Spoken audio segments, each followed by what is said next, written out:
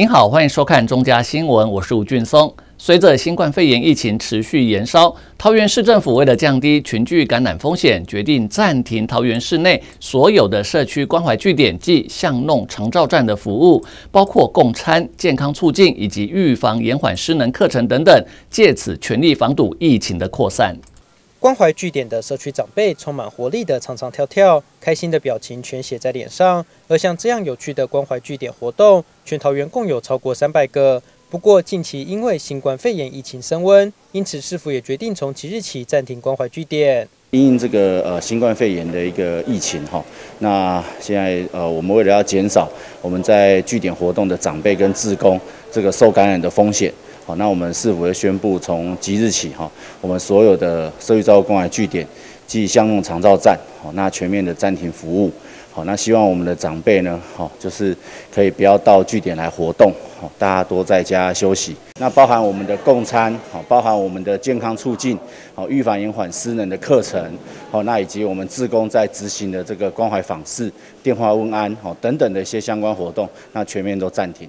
随着新冠肺炎疫情严峻，桃园市政府决定先暂停桃园市内所有的关怀据点服务，包括供餐、健康促进、预防延缓失能课程等。而有里长表示，社区长辈都非常支持据点暂停，并将会全力配合政府防疫措施。这是大人的反应拢真一致，啊，大家拢真欢喜来配合咱政府的政策，啊，来停止着即摆活动。啊，咱是大人嘛讲。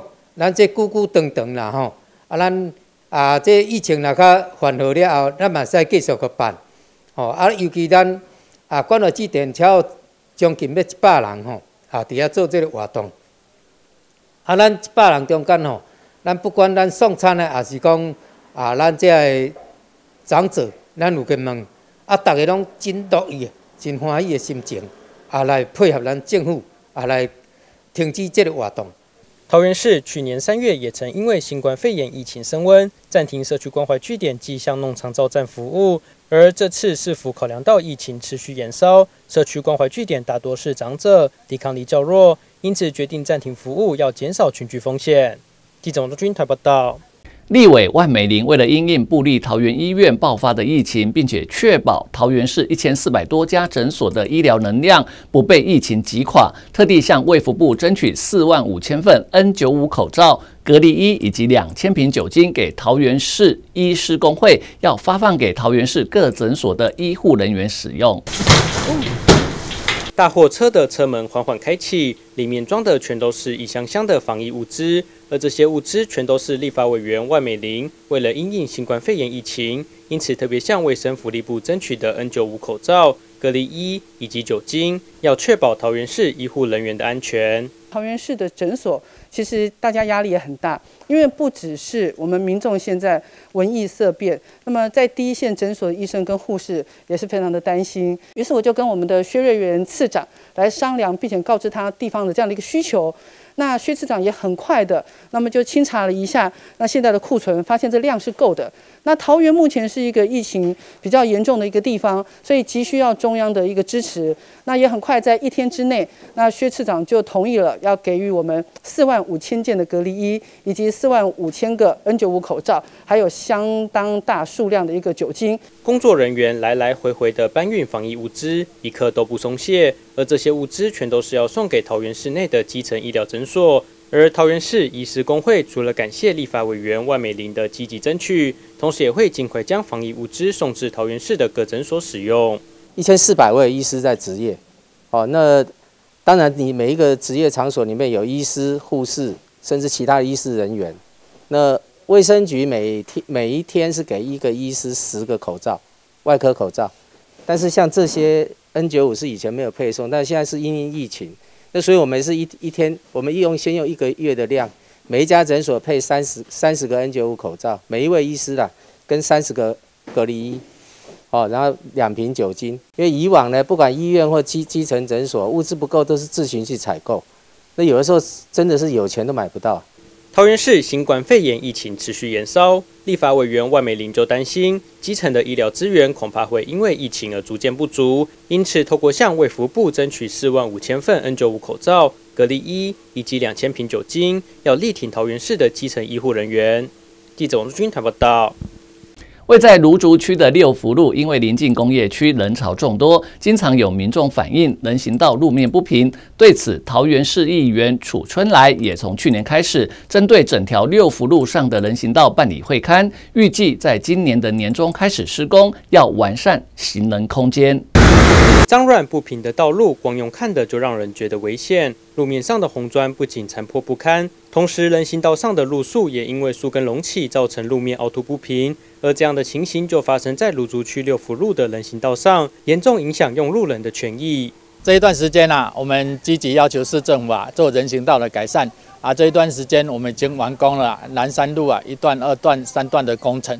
那现在我们积极在推动，就是六福路人行道的改善呐。因为六福路啊啊，目前可以说公司行号势力蛮多的，有一些民众进修进出哈啊需要人行道部分啊，因为早期人行道比较不平。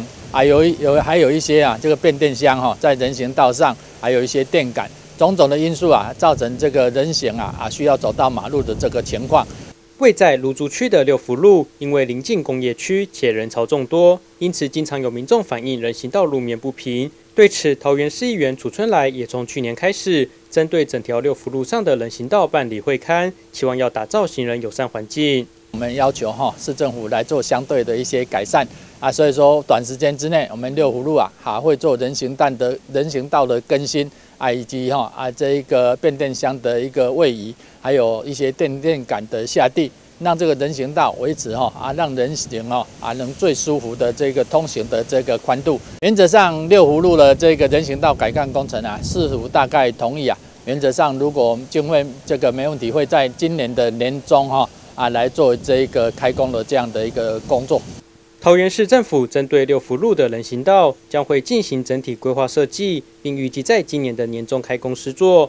不仅要修复左右两侧共长达五百公尺的人行道路面，同时也会针对变电箱、电杆、树木进行规划，借此要完善行人空间。记者周军台报道。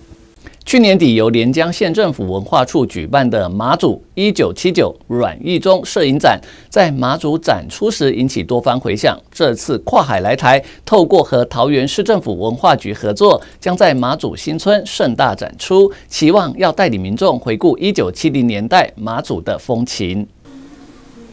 一张一张的老照片挂在墙面上，朴素原始的影像，不仅让来参观的民众细心观察。同时，也勾起许多民众早年的回忆。桃园市政府文化局透过邀请阮义忠老师举办摄影展，借此要带领民众回顾一九七零年代马祖的风情。那个时候啊，马祖啊是完全不准拍照的，诶，相机是管制品。那因为我是绕金团的一员嘛，要随团记录。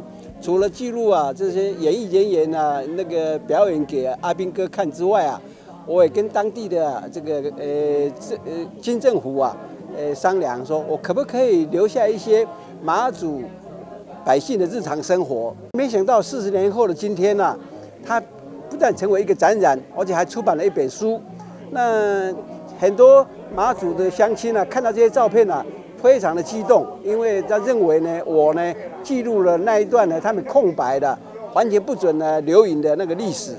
去年底，由连江县政府文化处举办的马祖一九七九软艺中摄影展，在马祖展出时引起多方回响。而这次跨海来台，透过选在马祖人的第二故乡桃园，并与桃园市政府文化局合作举办摄影展，也触动台马两地马祖人的乡愁。因为我们桃园啊，其实是马祖人的这个第二故乡。我们桃园有五万的马祖人，那马祖才有八千个马祖人。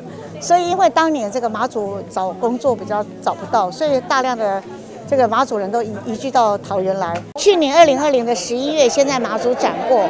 那马祖展完之后，其实在筹备这个展的时候，我们就已经知道要有做这样的一个合作。它展完之后，就会移展到这个马祖新村来。哎，主要也是这个属地的一个感情的链接啦。嗯，马祖一九七九阮义忠摄影展与马祖新村盛大登场，而阮义忠老师的照片不仅提供民众了解过去和现在的差异，同时也扩大我们观看人与物的视野。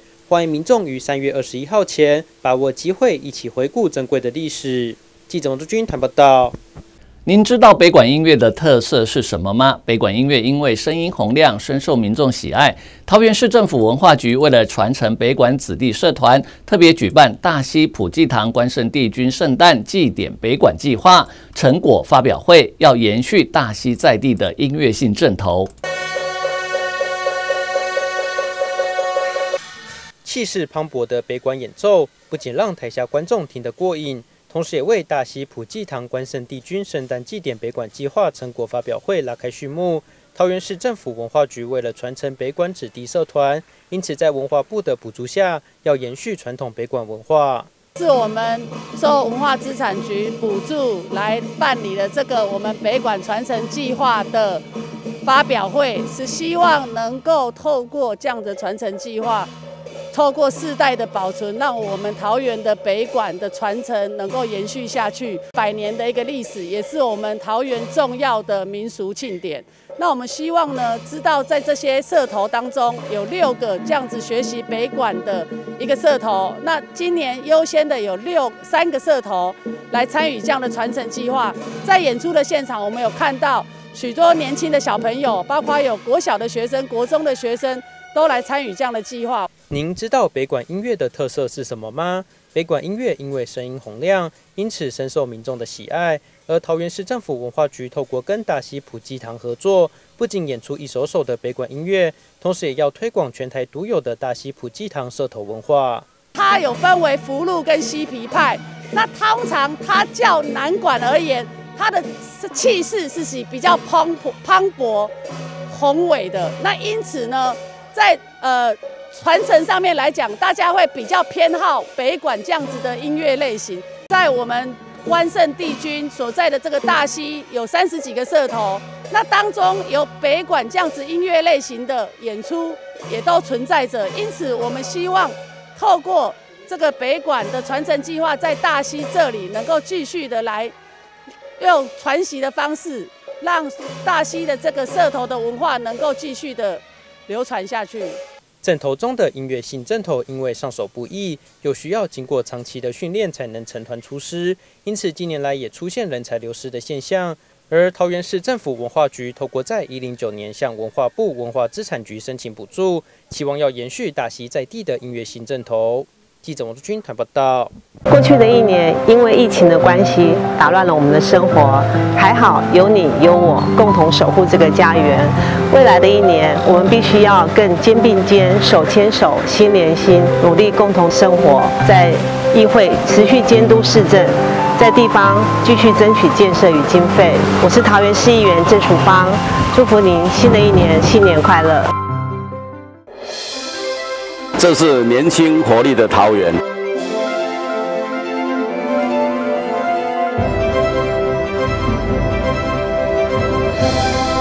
这是繁荣进步的桃园。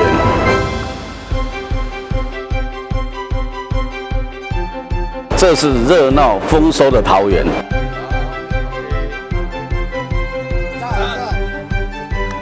活力之都，希望桃园，因为有你的参与，桃园越来越好。